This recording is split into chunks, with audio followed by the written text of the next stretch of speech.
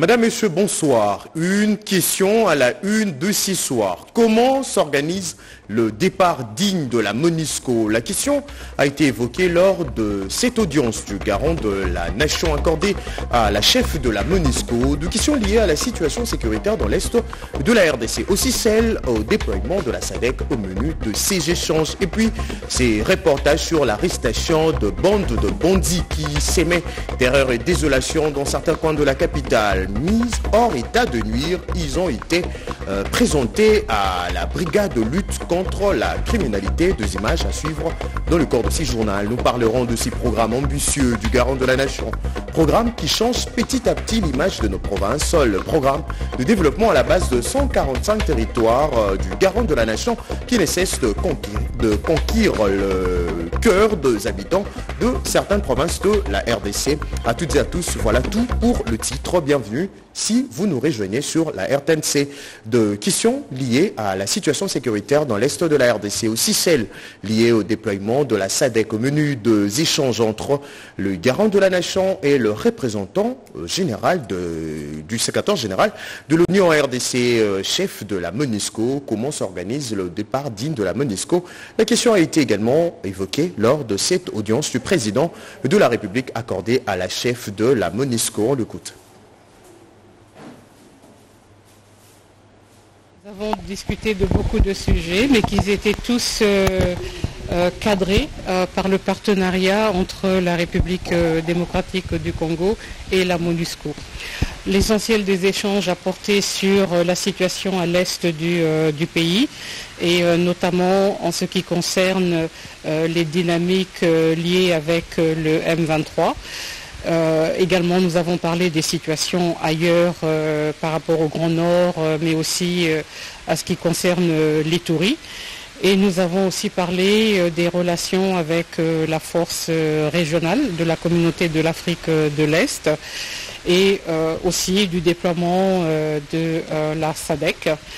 Et finalement, nous avons aussi parlé beaucoup de comment organiser d'une manière qui soit digne euh, le départ euh, de la mission donc euh, MONUSCO.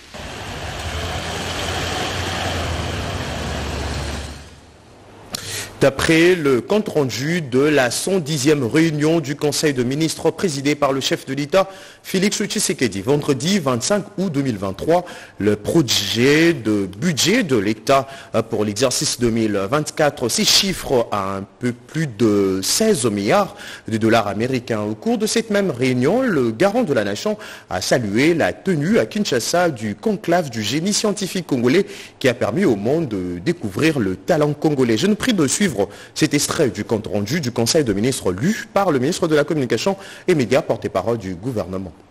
La communication du président de la République a porté sur quatre points principaux, à savoir 1.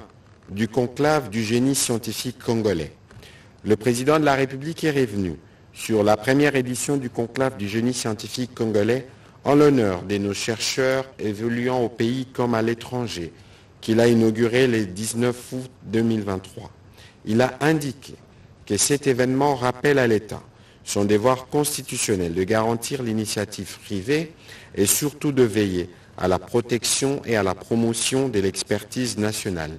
C'est donc à juste titre que celles et ceux de nos compatriotes qui se sont distingués par leur inventivité devraient mériter l'attention du pouvoir public et la reconnaissance nationale pour leur engagement, souvent dans des conditions difficiles, pour l'amélioration des conditions de vie de leurs compatriotes. À cet effet, il a réitéré ses instructions données au gouvernement à travers le ministère de la Recherche scientifique et innovation technologique de faire diligence pour que les ministères sectoriels concernés par les innovations et les inventions économiquement utilisables prennent sans tarder les dispositions idoines pour leur budgétisation dans la loi de finances 2024. Concrètement, il est question pour le gouvernement d'accompagner ses compatriotes, notamment par des appuis financiers et autres à même de booster leurs activités et de les intégrer le plus tôt possible dans l'économie nationale aussi, une attention particulière devrait-elle être accordée aux inventions et innovations non encore consommables, mais dont la mise au point scientifique est terminée. Par ailleurs, Il a aussi demandé au gouvernement de veiller à ce que désormais les animateurs des institutions étatiques, à quelque niveau que ce soit, intègrent la dimension recherche scientifique, aussi bien dans le processus de définition de leur politique sectorielle que dans leur mise en œuvre.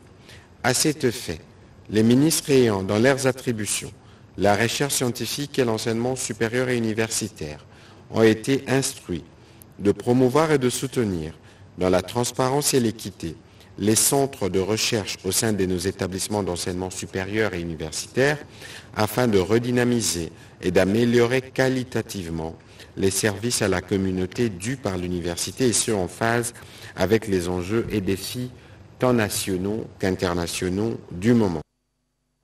Allez, changeons carrément de chapitre pour parler santé. Le premier congrès de la Société congolaise de néphrologie affermi s'y porte à Kinshasa. Le participant à ces assises ont réfléchi sur l'amélioration de la prise en charge de la maladie rénale en RDC. Plus de détails dans ces reportages de Constance Mananga.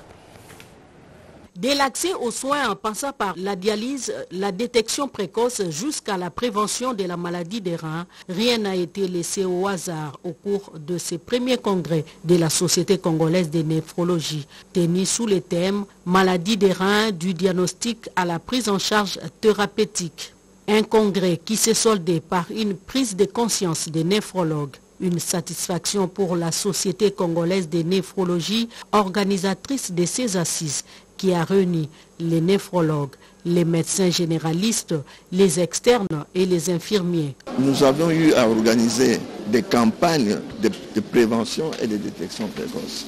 Chaque fois que vous causez avec les néphrologues, ils, vous parlent de ce qu'il faut éviter pour ne pas avoir de maladie des témoignages des malades, des partages d'expériences ont permis aux participants de peaufiner des stratégies en vue de l'amélioration de la prise en charge. Pour nous, les malades de reins, nous sommes fiers de ça.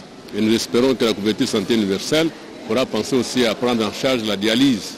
Ça permet également pour nous les transplantés d'avoir la possibilité d'obtenir localement un suivi de notre état de santé, l'achat des médicaments, parce que j'ai vu des firmes pharmaceutiques localement plutôt qu'aller à l'étranger pour y déposer l'argent, le temps, et ainsi de suite.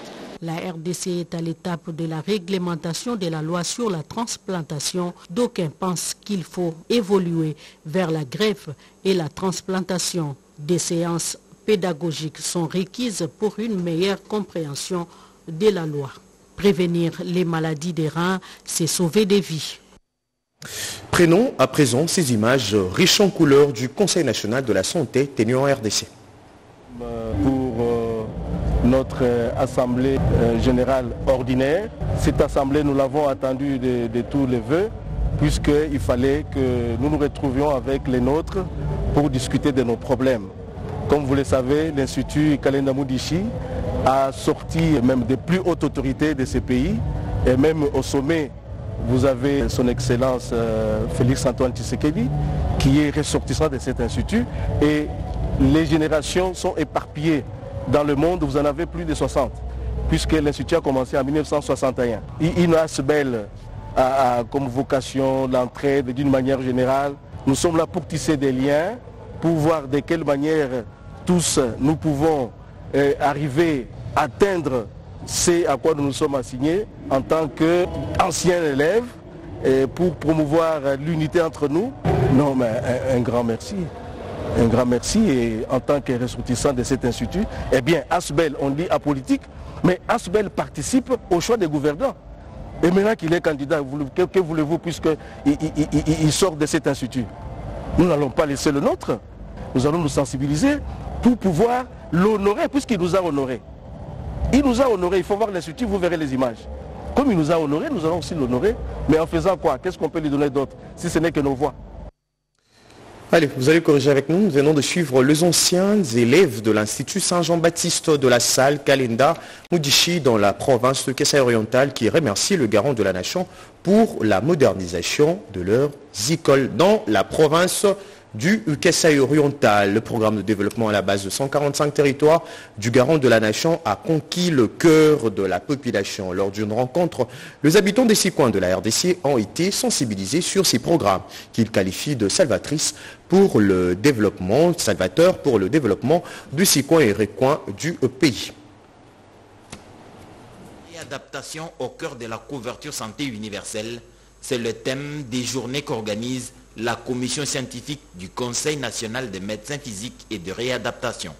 Une première journée consacrée à l'éthique et à la déontologie par uniquement les médecins physiques et une deuxième journée ouverte à tous sur l'ostéo-articulaire, approche multidisciplinaire des affections musculo-squelettiques.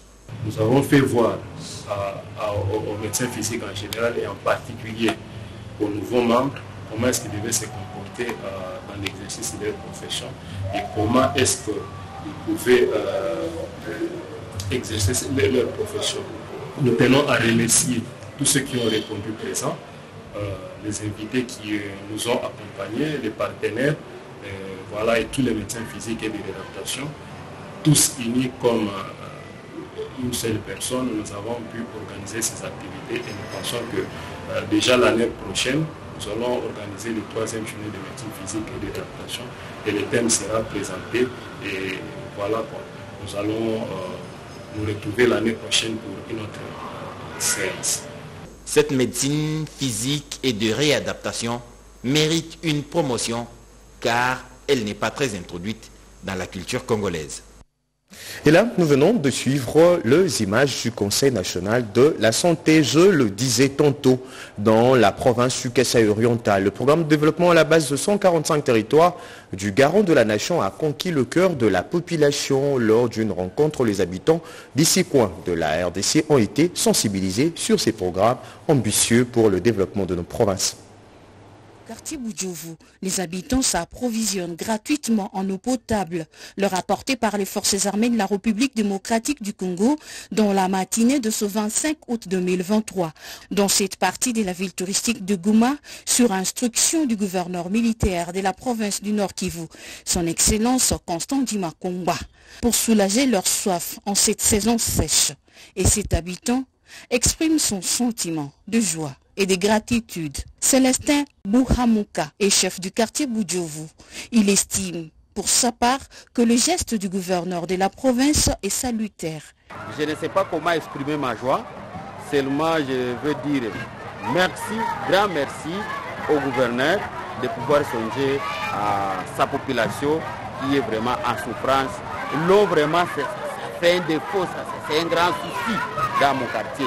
Alors, comme le gouverneur vient de nous amener de l'eau gratuitement, vraiment nous disons merci et que Dieu lui bénisse. Désormais, chaque coin de la ville touristique de Goma, dépourvu de l'eau potable, sera desservi par le camion citerne des phares d'essai sur ordre du gouverneur militaire, le lieutenant général Constant Dima Komba. Nous avons reçu des instructions fermes de son Excellence, Monsieur le gouverneur militaire de province et commandant des opérations, le lieutenant général Ndima Kongba Constant, qui nous a instruit, n'est-ce pas, de ravitailler la population de cette partie de notre province en eau potable, de manière à atténuer, tant soit peu, la souffrance de cette population. Une façon de rapprocher sa population avec l'armée dont lui-même commande ici en province du Nord Kivu. Voilà, c'est la fin de ces journaux de la rédaction. Retrouvez Anita Luamba dans quelques minutes pour de nouveaux titres d'actualité. À toutes et à tous, bonne soirée.